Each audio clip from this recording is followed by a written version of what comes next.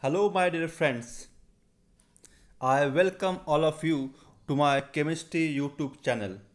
Today, our video is about principle of H1 NMR spectroscopy. Basically, there are two approaches where we can discuss the principle. One is called classical approach and second is called quantum approach. In this video, we're going to focus on quantum approach principle of proton NMR spectroscopy. So let's start the video.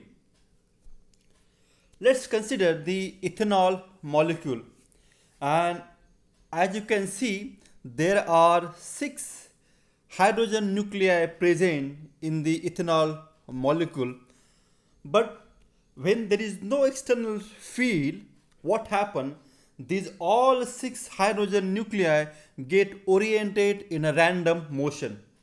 And because of that they are having same energy that is they are degenerate nuclei. But the moment you start the external magnetic field what happen? They get split up into two energy nuclei.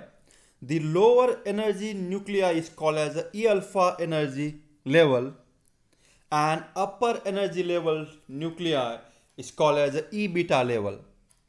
In a lower E alpha, the hydrogen nuclei has a parallel spin with respect to applied magnetic field. On the other hand, the E beta nuclei has antiparallel spin and basically in this the E alpha is in lower energy and E beta is having the higher energy level. So you can see that the moment you start the magnetic field, they get split into two different energy level. Afterwards, when radio frequency is false on this active nuclei under the condition of resonance, basically resonance is the condition in which we match exactly match the energy of the two system. Here in this case the one system is radio frequency energy and second is the difference between the E alpha and E beta energy level. So if you wanted to have the NMR spectroscopy signal you need to apply radio frequency which exactly match the energy of E alpha and E beta energy level. So the moment you giving the radio frequency, what happen? The lower energy nuclei, E alpha nuclei absorb the energy and start to get excite at higher energy level. Thereby, they change its spin and the parallel nuclei get antiparallel at higher energy level. But while coming back to ground state E alpha they again change the spin. So now you can see the after absorption of radio frequency the flipping process flipping is actually the excitation of nuclei to higher energy level. And after staying for some time at higher energy E beta energy level they will get back to the lower energy alpha level and this is how the flipping and relaxation process is occurs simultaneously and because of that actually we get a net NMR signal.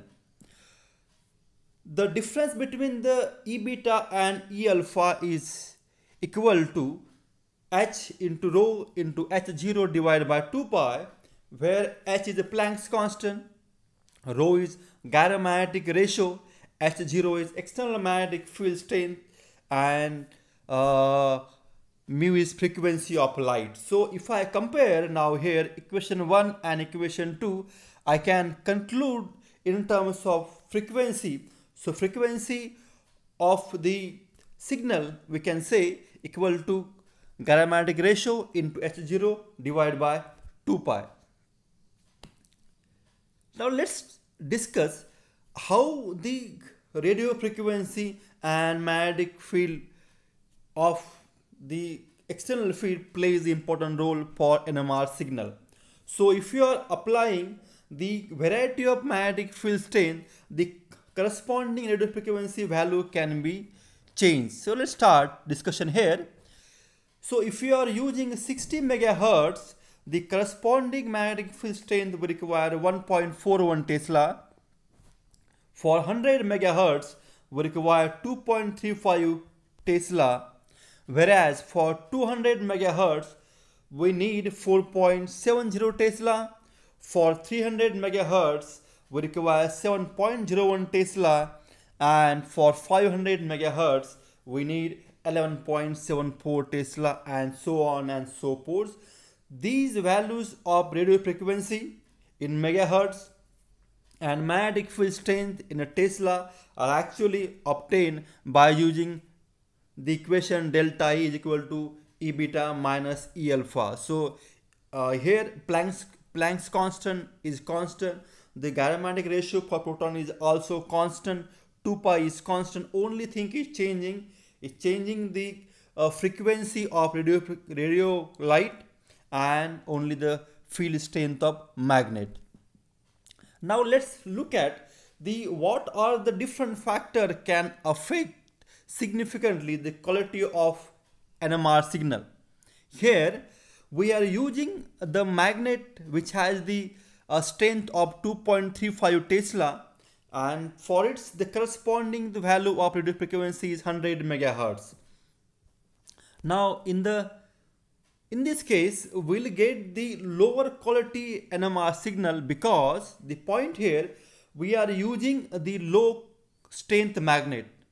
On the contrary, if I use the strong magnet which has the strength of nearly equal to 11.74 Tesla and the corresponding radio frequency is 500 megahertz, you can see we will get the good quality spectra.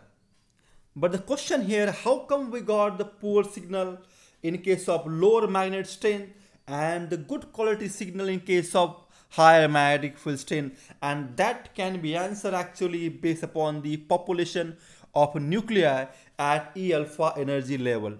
So remember that when we have the low magnet strength, the population of active nuclei at lower energy level is less. But the moment you apply the high magnet which has the high magnetic field strength, what happen?